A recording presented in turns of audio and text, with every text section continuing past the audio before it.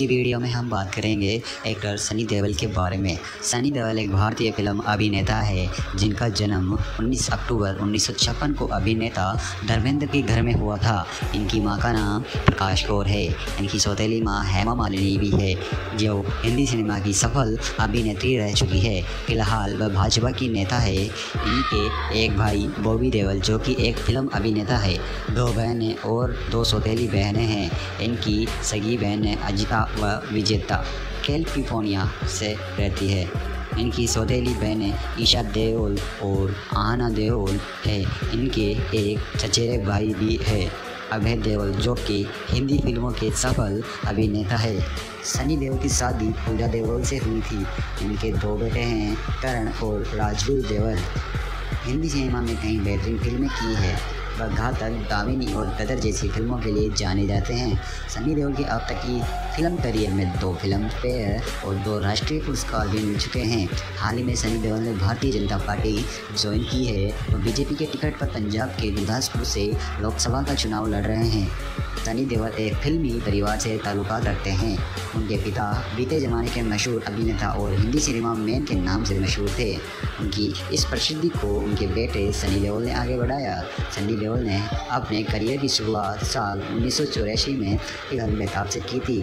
इस फ़िल्म में उनके अपोजिट अभिनेत्री अमृता सिंह नज़र आई थी। फ़िल्म ने बॉक्स ऑफ़िस पर काफ़ी अच्छी कमाई की, साथ ही इस फ़िल्म ने सनी को उनका पहला फ़िल्म फेयर अवार्ड दिलाया। साल उन्नीस में वह फ़िल्म अर्जुन में एक बेरोजगार युवक के किरदार में नज़र आए। इस फ़िल्म में उनका अभिनय दर्शकों को और आलोचकों को खूब पसंद आया। यह फ़िल्म उस साल की हिट फ़िल्मों में से एक फ़िल्म थी। इसके बाद उन्होंने हिंदी सिनेमा में कई back to back hit movie दी, जिससे यतीम चालबाज और सल्तनत जैसी फ़िल्में शामिल थी। नब्बे दशक से सन्नी ने कई सुपर ब्लॉकबस्टर हिट फ़िल्मों में काम किया है। इस समय उन्होंने राजकुमार संतोषी निर्देशित फ़िल्म घायल की है जिसमें उन्हें फ़िल्म फेयर अवार्ड के साथ राष्ट्रीय पुरस्कार भी दिलाया है। उन्होंने कई हिट फ़िल्में की जिनमें डर घटक जिद्दी बॉर्डर जैसी फ़िल्में शामिल थी। साल 2001 में उन्होंने कर्ज फ़िल्म की इस फ़िल्म में उनके अपोजिट प्रीति जिंटा नज़र आई थी। इस फ़िल्म ने बॉक्स ऑफ़िस पर काफ़ी अच्छी कमाई की थी। साथ ही आलोचक भी सन्नी के बेहतरीन एक्टिंग के दीवाने हो गए थे। इसके बाद वह फ़िल्म गदर एक प्रेम करा में नज़र आए। इस फ़िल्म में उनके अपोजिट अभिनेत्री अमीषा पटेल नज़र आई थी। यह फ़िल्म हिंदुस्तान, पाकिस्तान के रिश्तेदारों पर आधारित है। इस दौरान इस फ़िल्म का कई जगह विरोध भी हुआ, लेकिन इसके बावजूद इस फ़िल्म ने बॉक्स ऑफ़िस पर रिकॉर्ड तोड़ कमाई की। फ़िल्म की हर चीज़ उस दौरान शूट थे।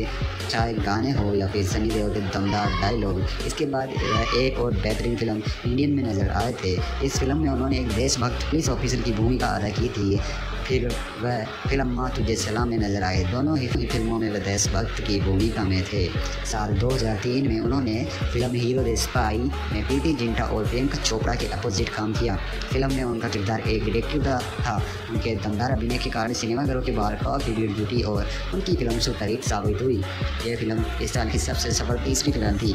इसके बाद वह फ़िल्म कमला पल्ला दीवाना में अपने पिता धर्मेंद्र और बॉबी देओल संग नज़र आए थे। फ़िल्म ने बॉक्स ऑफ़िस पर ठीक ठाक कमाई की थी। इसके के बाद उन्होंने कई फ़िल्मों की जो दर्शकों को ले जाने से ज़्यादा कामयाब नहीं हो सकी। हाल ही में उनकी फ़िल्म ब्लैक रिलीज़ हुई थी। उनकी प्रसिद्ध फ़िल्में लमला पल्ला दीवाना राइट लद्राग big brother full in final, Teesri Aankh, Naksha, काफिला, जो बोले सो निहाल, रोक सको तो रोक लो। कैसे कहूँ कि प्यार है, खेल माँ तुझे सलाम, जानी दुश्मन गदर, ये रास्ते हैं प्यार के। इंडियन चैम्पियन ने काम किया। तो कैसी लगी हमारी वीडियो? वीडियो अच्छी लगी तो वीडियो को लाइक और चैनल को सब्सक्राइब ज़रूर करिए और बेल आइकन को प्रेस करना ना भूलें। Thank you.